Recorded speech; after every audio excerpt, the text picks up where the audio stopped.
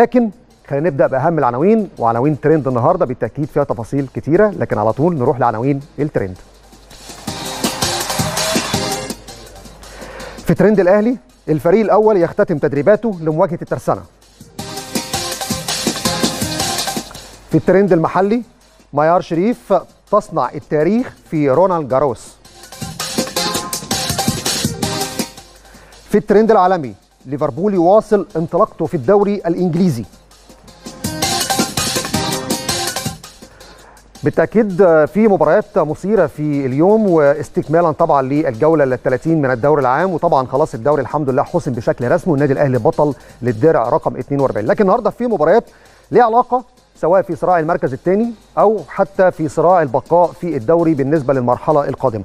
مباراة المقاولين ونادي إف سي مصر طبعا انطلقت في حدود الساعة الثالثة عصرا والمباراة 6-0 نتيجة كبيرة جدا لفريق المقاولين العرب أمام نادي مصر وكانت لها كمان هدف سابع مباراة مثيرة جدا لكن يبدو المقاولين العرب بقيادة عماد النحاس داخل بشكل قوي في المنافسة على المركز الثاني مع الزمالك وبيراميدز.